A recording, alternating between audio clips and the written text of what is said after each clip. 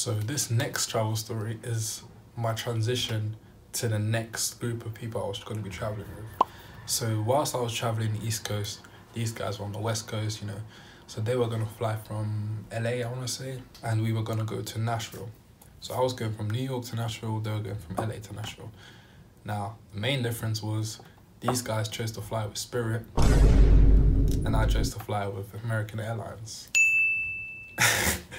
so obviously, what ended up happening was my flight from New York to Charlotte got delayed. So I was like, okay, this isn't a good start because this is a connecting flight because the Charlotte to Nashville flight was literally like like the turn the turnaround was very quick. I think it was like less than an hour, maybe like half an hour or so. So I was like, okay, this isn't good. And it kept getting delayed more and more and more. And I was like, damn. So I ended up getting on the plane, fl flew off. So whilst I was on the flight, I ended up getting rebooked for the Charlotte to Nashville flight before I even got there. Because I'm, I'm guessing they looked at the numbers and were like, yeah, you're not going to make it. Book you onto the next one. But the next one would have been on the next day. Because I'm literally flying at like 9 p.m. already. So I was like, okay. I get to Charlotte, I'm like, whoa, what the hell? Because the weird thing was, I got there, but we got there a bit earlier than anticipated. So the flight from Charlotte to Nashville was right there. So I was like, can't I just go on it? Like, I have a plane ticket, but they cancelled it, so I couldn't go. I was like, what the hell? Why would you guys do this? But ended up speaking to the people there, and they were like, yeah, here you go. Here's some taxi vouchers, hotel voucher, and some food vouchers. So I ended up getting into a taxi, went to a hotel, stayed there, slept there. Beautiful hotel, by the way. Probably the nicest place I stayed in America, period. Like, it was nice. I was mad I didn't get to stay that longer. But yeah, I was there, went back to the airport, got on the next flight the day after. And then here's where things went left. So we get to Nashville now. Cool, I'm liking it. It's a different vibe. You know, the accents are sounding a little bit different a bit more south, a bit more southern. And I was like, okay, cool. So I go, oh, actually, wait, I didn't even say. So the other people I was going to be traveling with, the guys that are flying from LA, their Spirit flight got cancelled. It's not even delayed, just straight up cancelled. And they literally couldn't get in contact with them to get information about, you know, what what's going to happen next. So they had to sort out everything by themselves, book a new flight, whatever. So yeah, if you're planning on traveling with Spirit, do so at your own risk. That's just what I'm gonna say. But yeah, so that happened. So they are not in Nashville yet. So I'm there by myself and I go to the place that we had booked in advance. Now I'll go there and they're like, oh, yeah, we've cancelled your booking. Like you guys were supposed to come yesterday. And I was like, oh, but like our planes got delayed and stuff, so you know, we couldn't really do anything. They're like, okay, you, you got cancelled. Like, we have no more space, so, you know, bye. I was like, oh, like that, fair enough. You have no more space even though you just cancelled yesterday. Fair enough. You know, I'm, I wasn't there to argue. I'm, this is my holiday. Whatever. So cool, I get on call with the boys. I'm like, yo, what should we do? Like, you know, what, what will go on? And then obviously we um, arranged a different place. Cool, got Uber there, signed in, everything was great. So we End up staying at this motel. You know, it was pretty nice, pretty nice. Nashville, good vibes. So I'm there, just waiting for them. They end up turning up. This is when I decided to take my hair out, which, my goodness me, that was a long process. Telling you that took me, genuinely, I'm not even capping, that took me like six hours, maybe even more. Like that was just hell. That was a little story of how we, we got to Nashville. But Nashville's great though, I would recommend that place. That place is just, I just there's just some parts of America, yeah. The warmth is just unlike anything I've ever experienced. I always say this, but like how can I open the door outside and warm air hits me at 4 a.m.? That would never make sense to me. Like it's 4 a.m. I'm warm outside. I step into the house and it's cool air. It's mind boggling. It's truly mind boggling. But it was, it was great. It was a great trip. This is just a quick one. This is not really even a story. Whilst I was in DC for the second time with obviously the next group of people. We were staying in this hotel, and I kid you not, we went out, did whatever, you know, saw some places. And as we came back, the road to our hotel was literally cordoned off, police cars everywhere.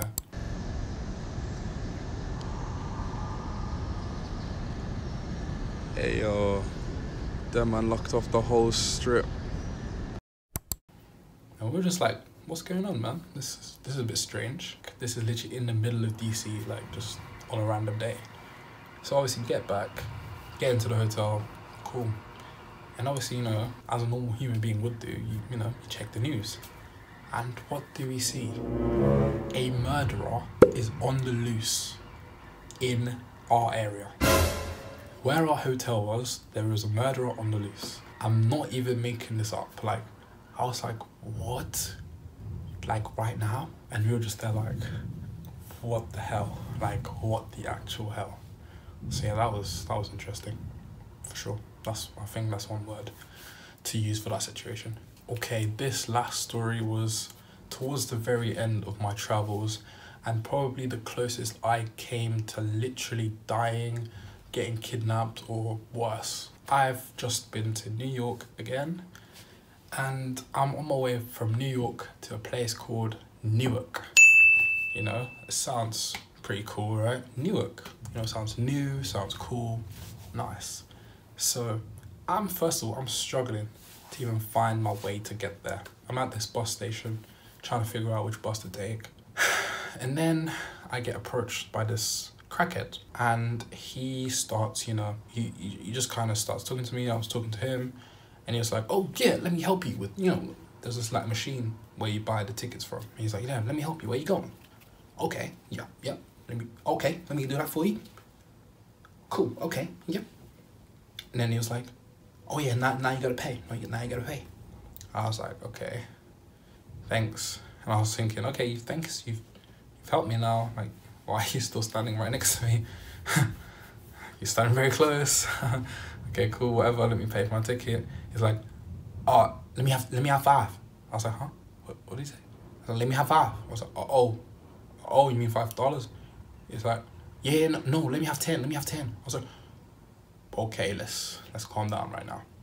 But obviously, in this position, I was like, this guy has just helped me buy the tickets saw me pay with the cash, uh, what what what can I do? I, I'm gonna have to give him some.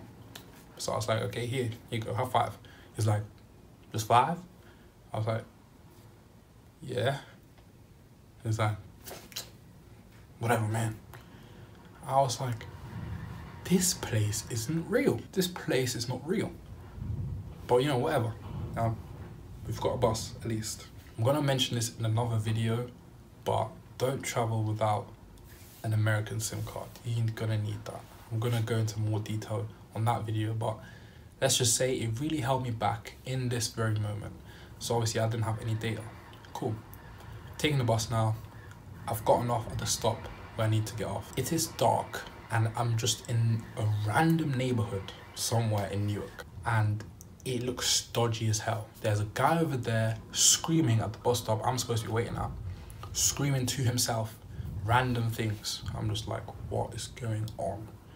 Now I'm waiting for my bus, and the time that my bus was supposed to come, and the time it is now, it's not it's not adding up. I've been waiting here for like 20 minutes and there's no bus.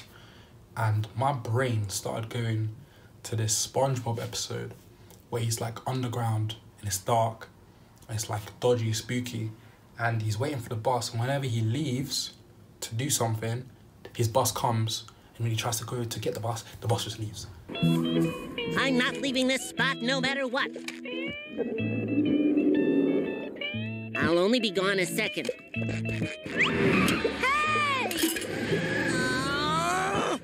That's what was playing in my mind. I was like, oh my gosh, I'm gonna have to just wait and stick it out. Like, the bus will come, the bus will come. As soon as I try and leave, the bus will come and I'll miss it. So let me not leave. But the more I'm staying here, the longer it's taking, the more I'm getting like, my heart's beating. Because I can't get Uber, I can't get in contact with anyone, I can't text anyone, there's no Wi Fi, I can't message, I can't Snapchat, I can't WhatsApp. It's just me, my bags, against the world. So I'm, my heart is beating. I'm looking around like, yo, if no bus comes, I'm stranded here in the middle of nowhere. And it's not even like I can see a hotel or anything. No, it's just shops that are closed. I'm like, bro, this is not real. What house is my life right now? Eventually, thank the Lord. Eventually, this bus comes. Get on it. I'm just like, yeah, bro, I'm literally like, why am I shaking? I'm trying to put money in the thing my hands are shaking, bro. And the woman's just like, get on, man. I was like, thank, thank you so much. I was like, bro, what's going on? And so the bus is driving, and luckily Google Maps, even when you don't have like data, it shows you a little the circle of where you are on the map. So I was just following the circle to try and okay, yeah, I'm, I'm nearly there. So it's taking the route as it should. You know, the bus is going the way it should. Then it takes a detour. Oh my gosh, bro. I'm like, no, no, no, no, no. Why are you going this way? You're supposed to. The map's saying this way. Why are you? Oh my goodness. I'm just like, oh my gosh, what do I do? Should I get off now? Should what, where's it gonna go? What if it takes me like further away? And, uh, spiraling, my mind is just whatever. End up getting kind of close to the area, so I just get out. I'm like, yeah, let me. This is close enough. So then I start walking in the dark by myself with my bags towards this place where a couple of my friends were staying in Newark, right? I'm seeing dodgy guys, you know, just on the street walking around looking at me. I'm like, hell no. Hell no. Like, I can't do anything. I have to get to my friends. Otherwise, that's it. So, luckily, right, I ended up getting there and there was like free Wi Fi in the building because I couldn't even text them to let them know I was there because I can't text and I have no Wi Fi. But luckily, at the bottom, of the building I had like a little connection Wi-Fi connected. I was like, yo guys, come grab me please. And then they came and grabbed me and everything was great. But yeah, my goodness, please do not travel without a SIM card where you can do stuff. I made a big mistake with that. But we learn from our mistakes. And I make these mistakes so you don't have to. Well, that was a whole lot of stories.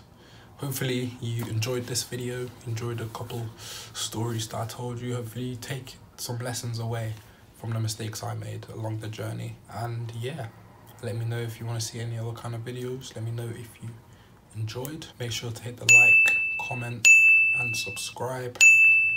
And i'm gonna catch you in the next one. Peace